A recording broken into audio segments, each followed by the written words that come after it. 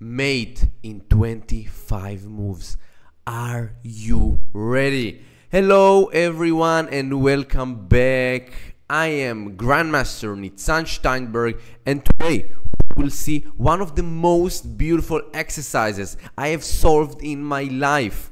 If you like this video, smash the like button, subscribe my channel and share it with your friends and family. I really want to recommend you stop now the video and challenge yourself and try to solve this extra wonderful puzzle. So if you succeeded, don't be shy, write in the comments below, I did it. And now I will show you the solution. So sit back, relax, and enjoy the show. So, ladies and gentlemen, we have very interesting puzzle today. Great tactic. Let's solve it together. So, what do we have? We have queen and two rooks. We have five pawns against. We have queen, two rooks, bishop, knight, and five pawns. So we are down a bishop and a knight and of course, we must understand that black is threatening so much things. Queen d1, for example, after king a2, rook d2, it's a checkmate. So black is threatening checkmate in two moves. Another thing that a2 is also a checkmate very soon after a2, king a1, bishop d4 checkmate, queen d4 checkmate, right? And after a2, king c2 also queen d2 will be checkmate. So black is giving checkmate if we will not win it, you know, before he's putting our, you know, the checkmate, of course. So how can we do it? Because yes, we have rook on ha that is doing a great job in this row, and we have this queen that is very close to the to the black's king and also this pawn on g6 is doing a great job you know to um, to to disturb the king from coming to f7 you know he's avoiding some some critical squares. But how can we win it? For for example the first intuition that comes to my mind is to play the move queen to f5 check. Because if king if the black's king, um, you know, like uh, going to e8 or e7, we will put the checkmate on f7, right? But the problem that after queen f5 check, black has the opportunity to play the move queen f6 and just, you know, like um, not giving uh, uh, the opportunity to, to put the checkmate on the board. So after queen takes f6, g takes f6, rook h3 to h7, right? Let's see it. Queen f5, for example, queen f6 takes, takes. Rook 3 h7 with, with the point that rook f7, king e8, rook g8 will be a checkmate. But unfortunately, black is just pushing a2 check, right? And after king c2, the only move that we can play um, we, without uh, bringing the, the queen with the check, right? For example, king b2, a1 with check, and king a1, bishop d4 checkmate. So king c2 is the only move uh, that white can play, but unfortunately rook d2 check, and after king c3, black will promote with the, with the check, and black will win it easily. So unfortunately, queen f5 is not the main issue here with white. So how can we give a checks? Because we understand in this position we must do it fast, as fast as we can. So rook g8 comes to my mind, king takes g8, and now only check that I can see is rook h8 check. King takes h, h so we already sacrificing two rooks into the game. King is coming to h8. You, you can see it in your head, right? Queen h5 check.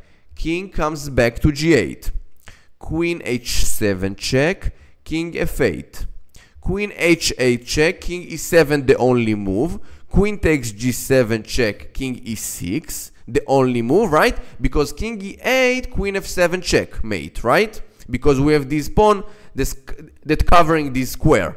So after king e6, queen f7 check also we will play. The only move is to play king e5, queen f5 check, king d4, queen e4 check, king c3, queen c2 check, right? So black's king is here, our queen is here. If he's going to b4, we will have the move queen c4 check, king a5, and queen a4 check mate, right? You can see it in your head. Let's do it another time because it's very complicated, okay? So rook g8 check, king takes g8. Rook h8 check, king takes h8, the only move, right? Queen h5 check, king g8, queen h7, king f8, queen h8, king e7, queen takes the pawn on g7, king e6, queen is coming to f7 with another check, king e5, queen f5, king d4, queen e4, king c3, the only moves, right, for black, queen c2, and now the best move for black is to coming back to d4 with the king, right? Because on b4 we understand it's not good, right? So king d4. After king d4 is coming here, we will have the move queen c4 check. King e5, queen e4 check. King f6, queen f5 check. The only move is to come to g7, right? This square doesn't have the pawn there because we took it with our queen a few moves uh, before it. So king g7, queen f7 check, king h6. Because these rook are not here anymore, we sacrifice it, it uh, in, the, in the beginning of the tactic. Queen h7 check, king g5. And now h4 check. King f6, right, the only move. Queen comes to f7 check. King e5, queen f5, king d4, queen e4, king c3, queen c2, right? You can see it. So let's show it. And after this, if you have questions, write in the comment below. So rook g8, king takes, rook h8, takes, queen h5, king g8, queen h7, king f8, check, king e7, queen g7.